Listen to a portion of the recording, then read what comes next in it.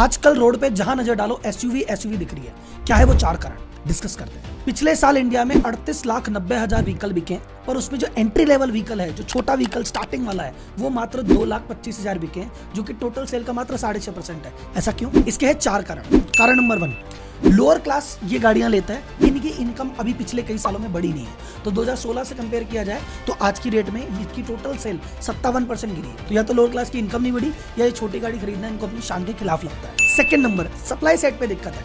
अभी चिप की शॉर्टेज चल रही थी तो कंपनी कहा चिप कम है भैया तो गाड़ी कौन सी बनाओ? तो गाड़ी वो बनाओ, जिसमें मार्जिन ज़्यादा हो। तो एस ज़्यादा बनाई, छोटी बनाई नहीं। तीसरा ऊबर ओला बहुत सारे ऑर्डर करती थी इन छोटी छोटी गाड़ियों के, और उनको किराए पे लगा देती थी। लेकिन अब ऊबर ओला की लंका लगी हुई है तो ऑर्डर ही नहीं आ रहे। और चौथा रेट ऑफ़ इंटरेस्ट भी बहुत ज़्यादा है। तो किसी का मन भी बन रहा है तो बड़े लोगों का मन है, उनके फ़र्क नहीं पड़ता, बड़ी गाड़ी ले रहे हैं। छोटे आदमी के लिए तो हाई इंटरेस्टेड बड़ी बात है, इसलिए वो गाड़ी नहीं और कोई पांचवा कारण आपको लगता है चैट बॉक्स में बताइए।